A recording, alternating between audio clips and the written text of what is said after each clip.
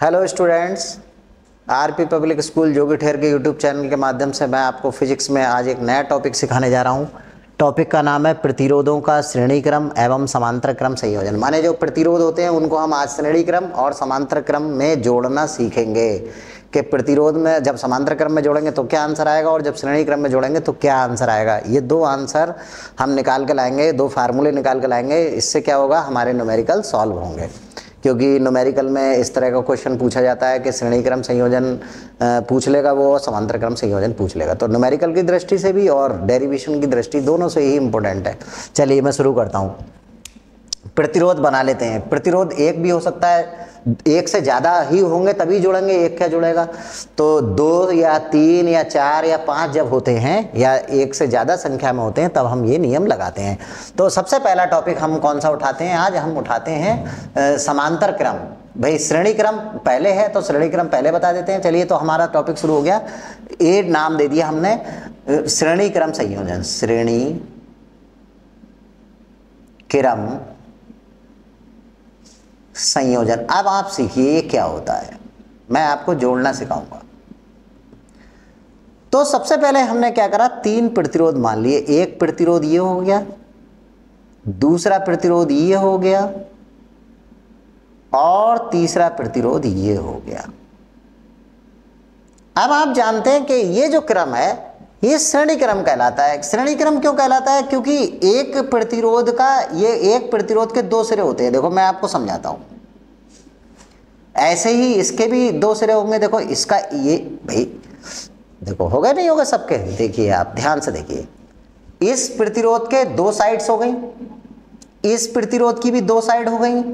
इस प्रतिरोध की भी दो साइड हो गई। इन्हें हमने आपस में यहाँ ज्वाइन कर दिया, यहाँ ज्वाइन कर दिया, यहाँ ज्वाइन किया। ये ज्वाइन लगे हुए हैं। इनको हमने सोल्ड कर दिया है, या फिर हमने घुमा के ऐड दिया है। आप ऐसे समझ सकते हैं। अब इसका एक पॉइंट बचेगा और एक पॉइंट इसका बचेगा। इन दोनों को हमने क्या करा? सेल से कनेक्ट कर दिया। किसी सोर्स से एनर्जी सोर्स से कनेक्ट कर दिया डीसी तो ये हमने कनेक्ट कर दिया। सेल का साइन बनाते हैं। ये तो एसी का हो गया। ये हो गया हमारा। ये हमने जोड़ दिए। अब देखो इसका प्लस होगा और इसका माइनस होगा। प्लस से करंट निकलता है, चला साहब, करंट चला, ये चला करंट आई, यहाँ पहुँचा आई तो इसे भी आई मिलेगा। आगे पहुँचा इसे भी आई मिलेगा, आगे पहुँचा इसे भी आई मिलेगा, यहाँ पहुँचा करंट आई, यहाँ आ गया, ये भी आई, और फिर से देखिए, प्लस से चला था, माइनस में आ गया। चलो, अब वोल्टेज इसमें कितना होगा? वोल्टेज होगा इसमें भी भाई सेल का कोई एक अपना वोल्टेज होता है, इस सेल का कोई ईएमएफ होता है तो सेल का जो ईएमएफ होगा, वो सब यहाँ ड्रॉप होता जाएगा। यहाँ पर यहाँ पर पोटेंशियल डिफरेंस अलग आएगा, यहाँ पर पोटेंशियल डिफरेंस अलग आएगा, अलग अलग अलग डिफरेंस शो करेगा। तो इसमें शो करेगा बी वन इसमें शो करेगा बी टू इसमें शो करेगा बी थ्री अब इन सबका सम इसके बराबर रहेगा। इसको हम क्या नाम दे दें? आर वन इसको क्या नाम दे दें? आर टू इसको क्या नाम दे दें? आर थ्री क्योंकि रजिस्टेंस को तो इसी नाम से पुकारते हैं। तो अगर हम सारे, इसमें क्या है? नोट पॉइंट क्या है? इसका नोट पॉइंट क्या है? देखिए नोट पॉइंट ध्यान दें। इसमें सबसे ज़्यादा जो महत्वपूर्ण बात है नोट पॉइंट इसका यह है कि करंट सेम रहती है। करंट डिवाइड नहीं होती तो ये लिख लो। करंट डिवाइड नहीं होती है। ये आपको पता होना चाहिए। क्या डिवाइड होता है? वोल्टेज डिवाइड होता है। बी बी का बी का विभाजन होता है।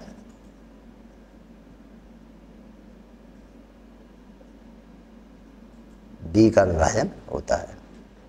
तो बी विभाजित हो गया। लेकिन अब जब विभाजित हुआ रहेगा तो इसी के बराबर। तो बी बराबर आपका फार्मूला बनेगा B one plus B two plus B three अब आप कहोगे, सर, तीन से ज़्यादा होते तो प्लस करके और डॉट डॉट करके बढ़ा देते। लेकिन हमारे में तीन है। अब इसके अंदर क्या छिपा है? ओम के नियम से। इसके अंदर छिपा है आई आर इसके अंदर आई आर वन इसके अंदर आई आर टू इसके अंदर आई आर थ्री अब आप कहोगे सर आर कहाँ से आया? तो इन सबका मिला हुआ रूप हमने आर मान लिया। इन सबकी जगह एक बड़ा सा रेजिस्टेंस मान लिया।